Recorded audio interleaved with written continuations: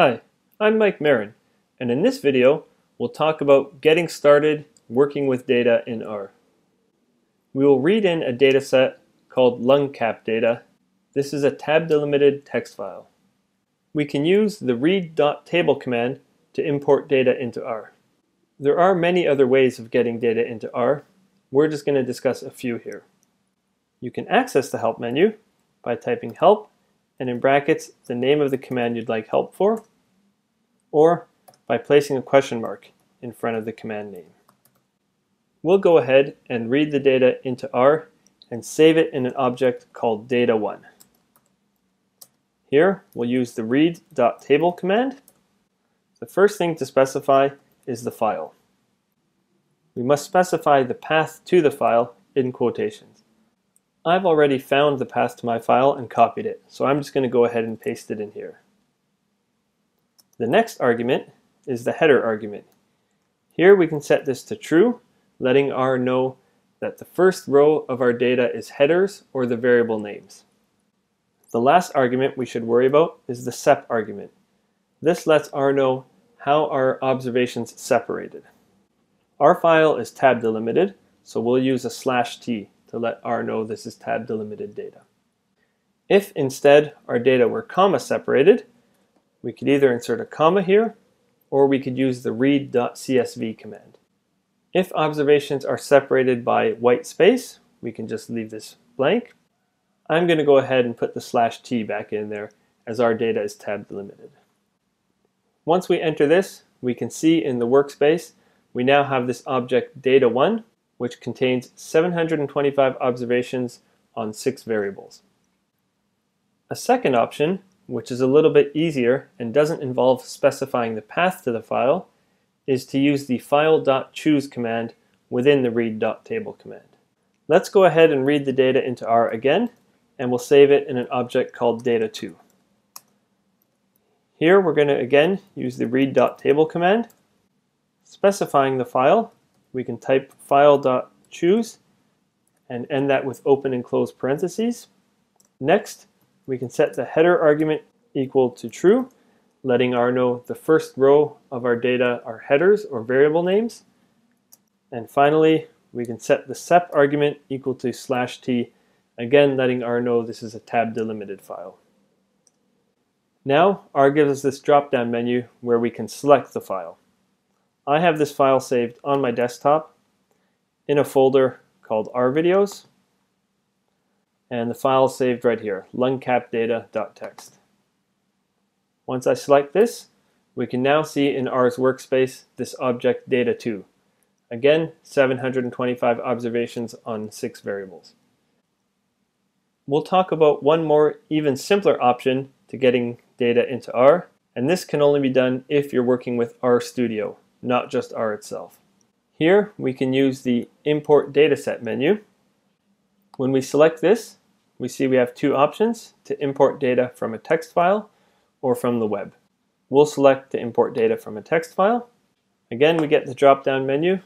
The data is stored on my desktop in this RVideos file and saved as LungCap data. Once we select this, we'll see R gives us one more drop-down menu here we can specify the name of the object we would like to save the data in. Previously we saved it as data1 or data2. Here I'll save it as lungcap data. The next option is to specify whether or not there is a header used. Here we'll select yes, letting R know the first row of the data are headers or variable names. The next option is to let R know how the data is separated. Ours is tab delimited. We can see other options of semicolon, a comma, or a white space. The third option is to let R know which character will specify a decimal point. Here we use periods for decimal points. In Europe, it's common to have a comma representing a decimal point.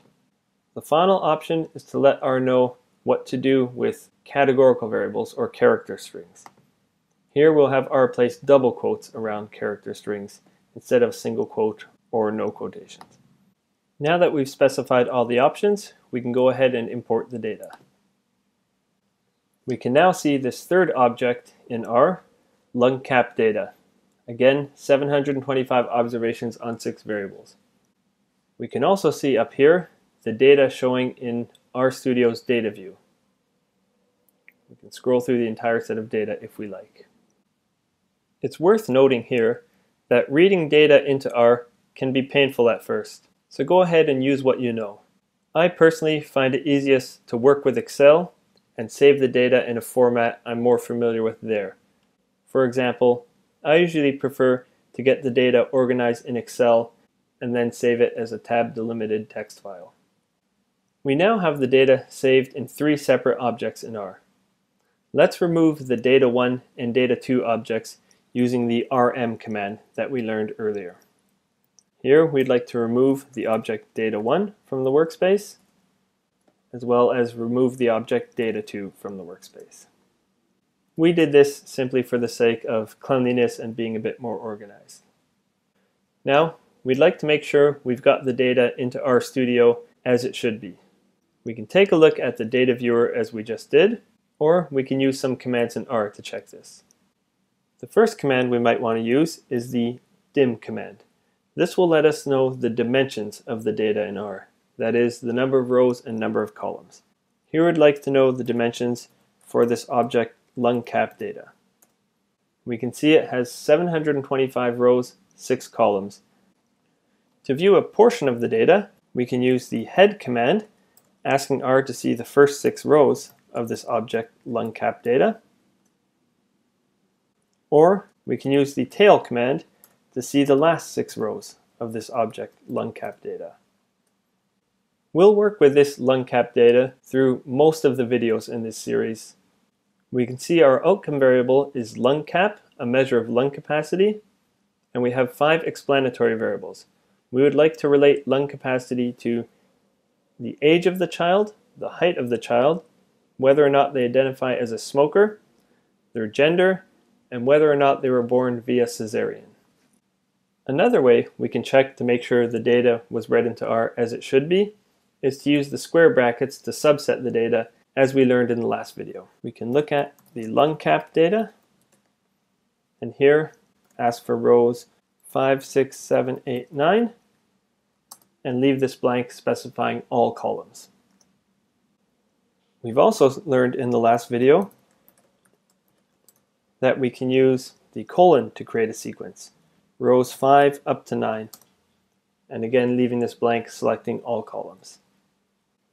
And again, just to remind ourselves of one more thing we learned in previous videos, we can look at lung cap data, creating a sequence running from 4 up to 722.